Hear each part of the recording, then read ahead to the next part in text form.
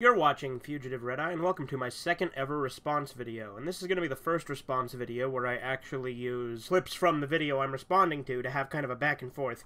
Now, I won't be showing the video in its entirety, I'll just be showing the relevant clips. Uh, but I will be linking the original video in the description below. Now, that being said, this video I'm going to be talking about today is an older video. It's been out for a few years, and it's one that IGN did on the Stick of Truth. Now, as a big South Park fan myself, I've seen the show multiple times, and uh, I can name almost any reference that you give me. I can tell you what season and episode it's from. So, when IGN made this, I decided to check it out and noticed that they made a shitload of mistakes. The video in question is 38 show references in South Park The Stick of Truth. So it's 38 references to the show, South Park, supposedly. Uh, really, it's actually only like 37 to South Park, and then they throw a Star Trek reference in there at one point, but I'll get to that in a minute. As everyone always says with these uh, response videos, I am not trying to attack anyone, and uh, I do not advocate anyone actually doing that. Uh, I've just watched this video multiple times because I get a laugh out of how horribly made it is and how they don't get most of their facts right. Uh, so yeah, let's go ahead and we'll jump into it. We are big fans of South Park. Except no, no you're not, as this video will clearly show. Because if you were, you'd you wouldn't get as many of these wrong, and you wouldn't get them as wrong as you do. You'll see what I mean. Here are 38 references the game makes to the series.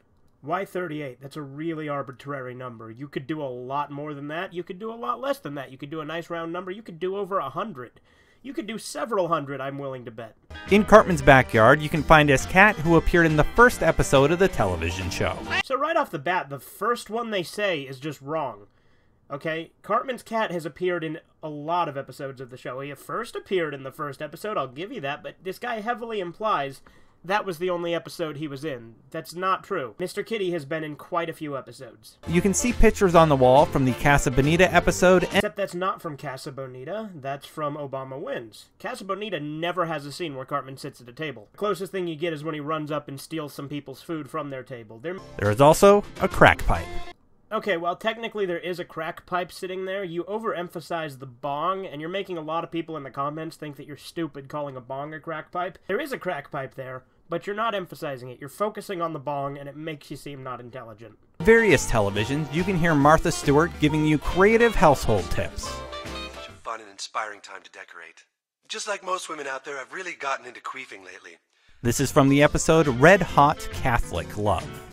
No, no, it's not. It is not from Red Hot Catholic Love. It's from Eat, Pray, Queef, two completely different episodes from completely different seasons. Neither of which sound even remotely similar, and neither of which even have similar plots. I don't know how you get this one that wrong. From the show, Cheesy Poofs and Weight Gain 4000 were a major focus of early episodes kind of a nitpick on this one, but Weight Gain 4000 was not prominent in more than the one episode it was in. Like, it was maybe in the background of other episodes, and it's been referenced in some of the games. But it was really only prominent in the episode of the same name. On Kevin's desk, you can see a tribble, which is a nod to Star Trek. That may be so, but you said this was about 38 references to the South Park television series earlier in this video. Why in the hell are you showing a Star Trek reference? Were you trying to pad this out? Because you already had 38. You could have just done 37. Both of them are just as arbitrary. Or you could have pulled another reference out because there's a ton more that you didn't put in this video. So why did you choose this of all things? Hell, even in this room, you could say, oh, Kevin is dressed as Spock, which isn't fitting for this, which is a reference to the fact that Kevin always messes up when they're role playing, like when he was a stormtrooper when they played Lord of the Rings, or something like that. If you enter the post office, you can hear various songs from Chef playing on the radio. Okay, again, a nitpick on this one. You can hear those songs in many different places, not just the post office. This and a couple other things actually lead me to believe they actually didn't play very much of the game, but I'll get into that a little bit more later. Uh, but yeah, you can hear those songs in a lot of places, not just the post office. When you enter Tom's Rhinoplasty, there are various posters of David Hasselhoff hanging up in the office. In the season one episode of the same name, Mr. Hat gets a nose job that Mr. Hat gets a nose job that Mr. Hat gets a nose job that Okay, now this is my favorite one. How the hell do you call Mr. Garrison Mr. Hat? They are completely different. Mr. Hat is the puppet he has, and I sincerely doubt the puppet would have ever gotten a nose job. And if he did, I didn't see it happen, and I certainly remember Mr. Garrison getting one in the Tom's Rhinoplasty episode, which is clearly what you're talking about, but you're not saying it right. You're saying Mr. Hat.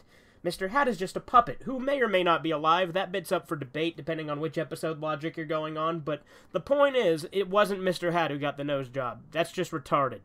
If you go into the business office, you can hear the montage song from the show. Once again, this song can be heard in multiple locations, not just the business office. Kyle's closet, you can see his Chewbacca costume from the Halloween episode, A Nightmare on FaceTime. Uh, no, the Chewbacca costume was from Pink Eye. In A Nightmare on FaceTime, Kyle was dressed as Thor. In the game, you can find the kid's shop teacher, Richard Alder, who Again, kind of a nitpick, but it's Mr. Adler, not Mr. Alder. Uh, it's a pretty easy mistake to make, so I'll go a little bit lenient on you on that one, but it's it's Adler, not Alder. I think maybe you were too busy screwing around. Hey, quit screwing around! Um, his radio plays Kyle's Mom's a Bitch from the movie, Finger Bang from the episode Something You Can Do With Your Finger, a Faith Plus One song from the episode Christian Rock Hard, and the Minorities song from the Casa Bonita episode. Okay, the Minorities song is from the episode Pee. It is not from Casa Bonita. I realize Casa Bonita is a Mexican name, but that does not mean that is where he plays the Minorities song. If anything, the implication you're giving there is a little racist. also, that version of Kyle's Mom is a Bitch is the one from Mr. Hanky the Christmas Pooh. There was one in the movie, but they altered it slightly, so it's actually a, a little bit of a different song. I'll give you a little bit of slack on that one because the song was in both, but still technically wrong. But yeah, that's all the parts where they fucked up. Uh, the thing is, though, uh, I get the implication that they only played maybe five minutes of this game uh, because all of the references they mention are stuff you can see very early on in the game, and they leave out a lot of stuff from later. Uh, and a lot of the later stuff is more direct references, where a lot of the other stuff they said in this video are sure references, but they're not like super big ones like some of the later stuff. And they could have removed that Star Trek one easily if they would have just put in another one if they still wanted to have 38 for some weird arbitrary reason. Uh, for instance, you go inside Mr. Slave's ass later in the game, which is a reference to the Death Camp of Tolerance. And it features all the characters that were in there in that episode, such as the Frog King, the Sparrow Prince, and Catatafish. Other than that, there's all the stuff with the aliens. Uh, they, you get anal probed, which is obviously a reference to Cartman gets an anal probe, as well as canceled if you really think about it, because he gets one in canceled too. But that's basically just a rehash of it with some differences. But regardless, there's just a lot more that they easily could have done.